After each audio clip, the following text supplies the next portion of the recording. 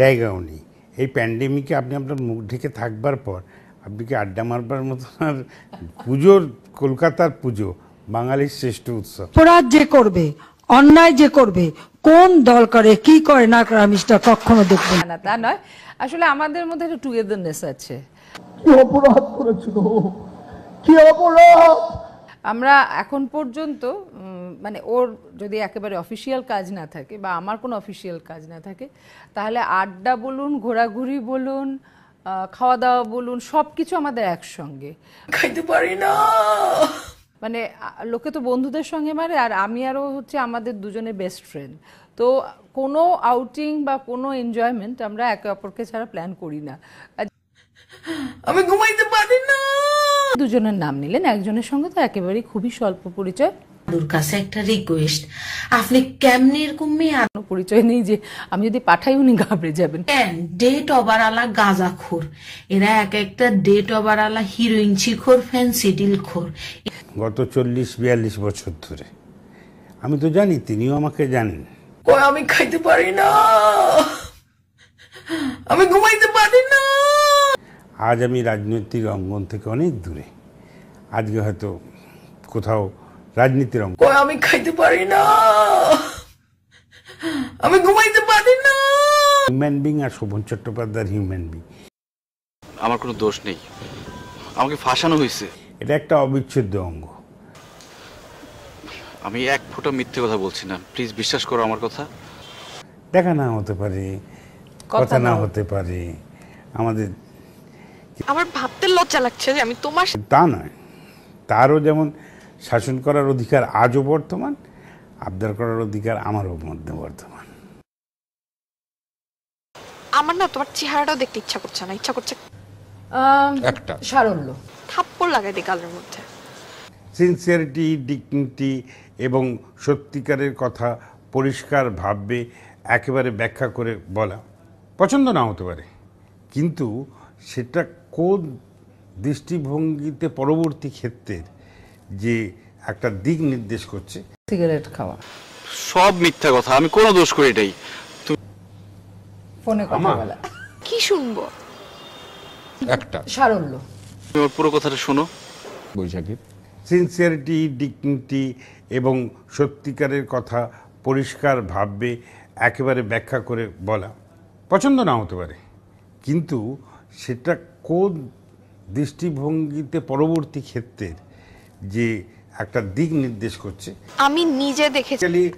ফোনটাকে মোবাইল ফোনটা যে বহুরূপে সম্মুখে তোমার ছাড়িকতা খুঁজেছ ঈশ্বর শয়তান থেকে খুঁজে পেতে হয় সেটা যদি খুঁজে পেতে হয় তাহলে মোবাইলের মধ্যে থেকে কারণ এই মোবাইলের মধ্যে দিয়ে সভ্যতার যত কি শুনব?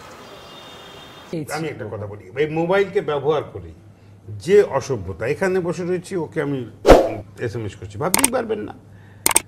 কোনো করছি না আমরা কিচ্ছু করছি না কিন্তু মানে। আমার আর। ইয়ে সেখানে যে কি কি মেসেজ ঢুকে যেত ফোন হ্যাক করে আপনি ভাবতেই পারবেন না। মানে অন্য কারোর সঙ্গে হলে এতদিনে মুখ দেখা দেখি বন্ধ মানে হয়ে যেত। লজ্জায়- কিন্তু আসলে বিচ্ছেদ আমাদের সঙ্গে হওয়ার নয়। মানে সব মিথ্যা কথা আমি কোনো দোষ করি এটাই শোভন এত সুন্দরভাবে দৃঢ়ভাবে মানে একটা কথা বলেছিল যে আমি যার হাত ধরি আমি তার হাত কোনোদিন ছাড়ি না কই আমি খাইতে পারি না। আমি ঘুমাইতে পারি না। আমি দেখে যাকে বুক দেখাই তাকে পিঠ দেখাই। না।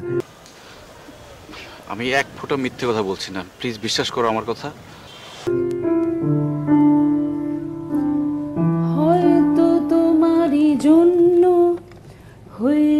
প্রেমে যে বন্য, জানি তুমি অনন্য।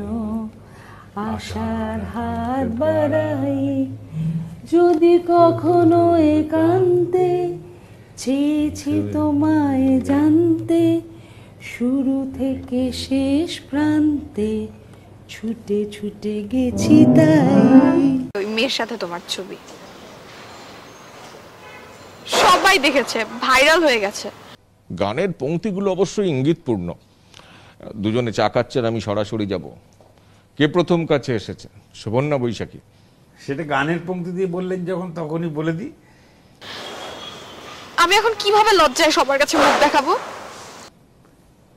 তোমার চলার ভঙ্গি মাটি যেন বাঁকা সাপ। পায়ে পায়ে জড়িয়ে থাকে যৌবনেরই তো লজ্জা নাই। তুমি তো একটা নির্লজ্জ। আপনার সাতান্ন বছর বয়সে এই প্রেম কি করে দেখেন ওনার মধ্যে? না আসলে আহ, আমি যখন শোভনের আহ, শোভনকে আমি মানুষ হিসেবে অ্যাপ্রিসিয়েট করতে শুরু করেছি ওকে আমার ভালো লেগেছে ভালোবেসেছি আমার কখনো ওর বয়সটা মাথায় আসেনি। আর ও এই যে একটা কথা বলল না, যে আমি চিরকালই যে আমি বাড়ির ছোট হলেও বাড়িতে আমার খুব দাপট ছিল। মানে যেহেতু আমার মা একটু অসুস্থ হয়ে পড়েছিলেন, আমি যখন বড় হচ্ছি, তো বাড়িটাকে বেশ কন্ট্রোল করে রাখতে হতো। বাবা যেহেতু বেশিরভাগ সময় বিদেশে থাকতেন। তো সেই রকমভাবেই শোভন কিন্তু বাইরে প্রচণ্ড দাপুটে মেয়র। কিন্তু যখন বাড়ি এসে ডিসকাশন হতো তো আমার কখনো মনে হয়নি যে ও আমার থেকে কতটা বড়। তুমি না শুনলে তো বুঝতে পারবে না আমার কোনো দোষ নেই আমি একদম ইনোসেন্ট আমি মনে করি যে সত্যিকারের যদি কেউ সাথী হয় সত্যিকারের যদি কেউ কেউ সম্পর্কের মর্যাদা দেয় সেটাকে প্রেম আচ্ছা বলে কেউ ব্যাখ্যা করতে করতে কিন্তু আমাদের তেরো বছরের সম্পর্ক হয়ে গেছে। হয়। দোষ তো আমার। True colour of the emotion true colour of the romance এই নয় যে রোম্যান্স আসলে আমাদের কাছে হাত ধরাধরি করে একটা সিনেমা হলে যাওয়া বা নৌকোয় চড়ে ঘুরে বেড়ানো আমরা সব করি এবং সবেতেই রোম্যান্স আমি তোমাকে চিনতে ভুল করেছি। তোমাকে একটা ইনোসেন্ট মানুষ মনে করেছিলাম। আছে মানে আমি বলব যে যদি রোম্যান্স না থাকে যে যেদিনকে শোভন চ্যাটার্জির মধ্যে রোম্যান্স থাকবে না যেদিনকে আমার মধ্যে রোম্যান্স থাকবে না জীবনটাই আমাদের কাছে ভীষণ রুক্ষ হয়ে যাবে। কিন্তু দেখো তোমার আসল চেহারাটা কি? আমি তোমার কোনো ক্ষেত্রেই আমাদের কাছে বহু ক্ষেত্রে বহু জায়গায় বহু ভাবে আমার কাছে এসছে কিন্তু প্রেম যদি এসে থাকে সে আর যায় না।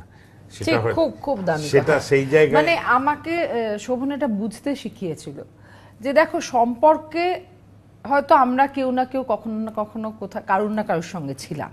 তার কন্টিনিউ করতে পারব কাল থেকে না আমিও দেখাবো আমি কি করতে পারি।